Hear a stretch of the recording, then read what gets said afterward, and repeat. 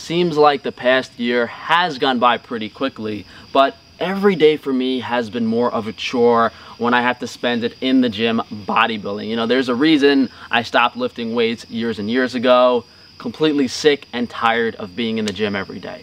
Of course, I did choose the worst time to start this transformation, uh, seeing as everyone is locked inside, all the gyms are shut down because they have to usher in this new world order nonsense. Uh, even if gyms did open back up in a reasonable manner, I wouldn't consider them safe anymore. You know, before this, we had high Wi-Fi level concerns. Everyone has their cell phone. But now, who knows what they're doing with these filtration systems? They're putting even more crap in these gyms. I would say you should not be working out in a public gym anymore. And no gyms, to my knowledge, take these precautions against these high radiation devices. Uh, we did a video, I think, four or five months back explaining this. I think it was titled, Are Gyms Safe? And I was hoping that all this stuff would be over by now, but it seems like I was unfortunately correct with my prediction six months ago. This is going to last about 18 months to fulfill their 666 evil satanic bullshit prophecy.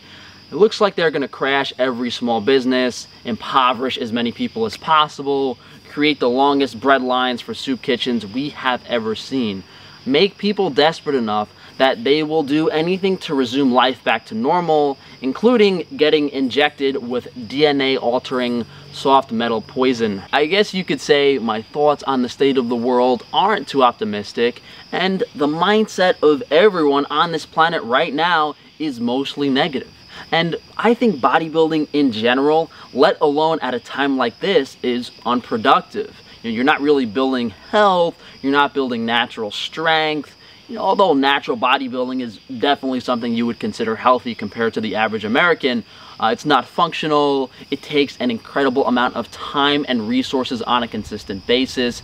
And it really does take over your life when you have to get all of these meals in, workouts every day, basically a second part-time job. You know, three to four hour commitment minimum every single day. And it's one thing if you're getting something in return, if you're a fitness influencer, if you really enjoy doing it and it gives you satisfaction. Uh, but for me, at this point in time with what I'm doing, it's, you know, I'm not too happy about it. Uh, that's if you're natural. You know, these enhanced athletes using boatloads of drugs have to eat twice as much food as me, three times as many meals, spend two to three hours in the gym, and it becomes a full-time job. Six, seven, eight hours per day committed to maintaining an insane amount of muscle mass. And that type of bodybuilding is definitely unhealthy. So much stress on your liver, kidneys, digestive system, cardiovascular system compared to a natural bodybuilder, which is probably just digestive system stress, maybe a little bit of stress on the heart. I'm sure all of you are familiar with why this started. You know, I made several workout advice videos using my personal knowledge from when I was bodybuilding in my teens and early 20s. However, my appearance was not indicative of my peak musculature. You know, I was a 140 pound fairy boy twink in those videos and my form was incorrect, questionable, uh, because it doesn't line up with what most people are used to seeing. Uh, so you guys gave me a bunch of shit and I got torn apart by my viewers and several other YouTubers for posting videos. And you know, I could have backed down and just let it go, but then I would have to admit that I was wrong and I believe strongly in my training style, my understanding of hypertrophy, just like I believe strongly in what I do for nutrition and diet. And you know, over the past three, four years of me doing my YouTube channel, I have fought very hard to establish my understanding of nutrition. And I feel like I'm in a similar boat with fitness and bodybuilding, except, uh, you know, nutrition has more unknowns than fitness and bodybuilding does. So it's a, uh, a bit hard, but there's definitely some parallels between the struggles I've had uh, in both of those aspects.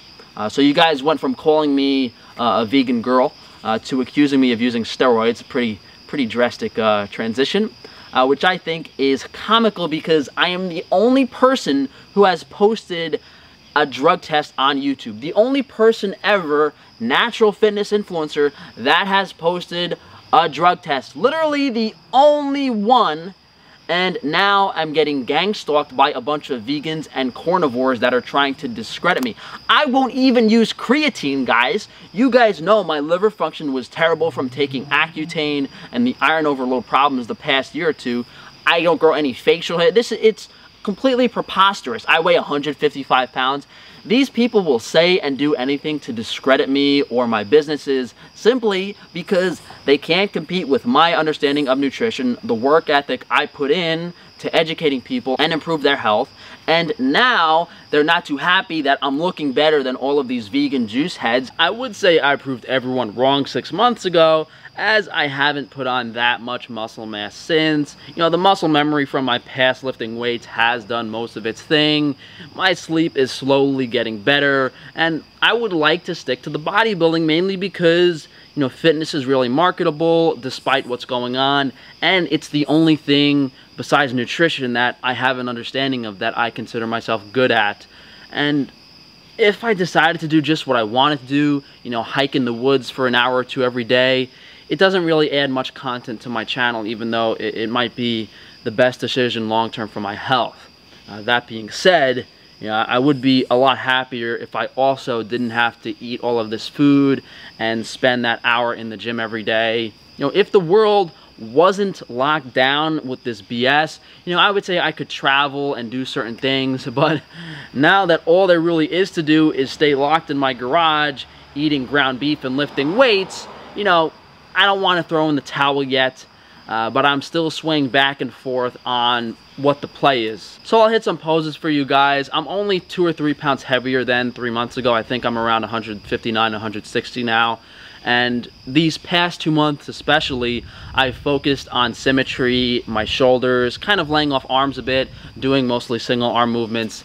And from a natural perspective, you know, I'm not going to put on a substantial amount of muscle mass without doing this for years and years and years and years. You know, I think this is going to be a long-term investment to just put on, you know, two to four pounds of muscle every single year at this stage.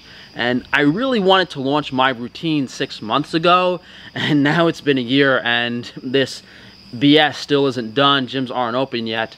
And I think I just have to come out with it regardless of what's happening. And whether or not I continue bodybuilding, you know, the training principles that I go over will be able to be applied to any sport. Strongman, powerlifting, calisthenics. Uh, so hopefully I'll get you guys that routine before November. I'm not really to hit any poses. I honestly don't think, you know, I look that good with my, you know, long arms and I don't have much of a V-taper. But I look pretty good relaxed and, you know, my arms are around 17 inches now. You know, my back is is much more developed than it was when uh, I started off. It's kind of hard to look good in like the, uh, you know, the front double bicep and like the some of the poses that expose weak points more. So we'll do simple stuff, side chest.